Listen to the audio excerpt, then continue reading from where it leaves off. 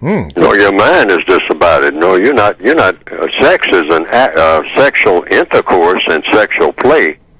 Like I've I, I've put it in quotes, sexual play in my textbook for victims of white supremacy.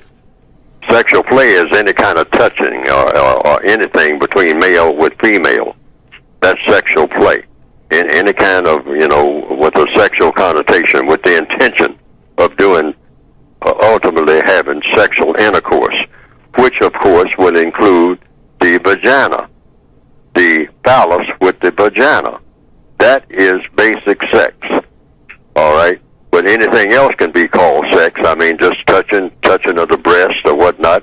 Uh, the female may decide to touch the male's breast. Is that sex? Is that a sexual connotation or whatnot? She just, you know, pats him on the chest.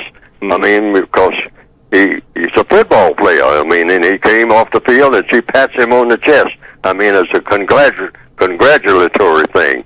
And a person might look at that and say, "Wait a minute, that female touched that that guy, that football player in the chest.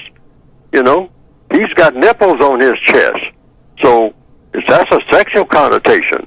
Well, yes and no. Depends on how you want to look at it. What is she doing it for? You know, she's congratulating him for having made a touchdown and whatnot. But she touched him on the chest, and it just so happened that his chest was there when she moved her hand. I mean, but she wasn't particularly aiming at his chest, or you know, so to speak. Or maybe she was. But is what what what do you call that?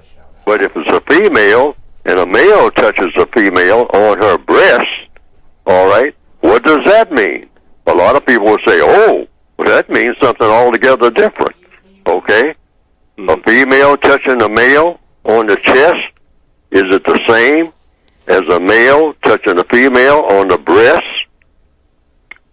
That's a question. Mm-hmm. Okay, it depends on how you want to look at it or what you want to make of it.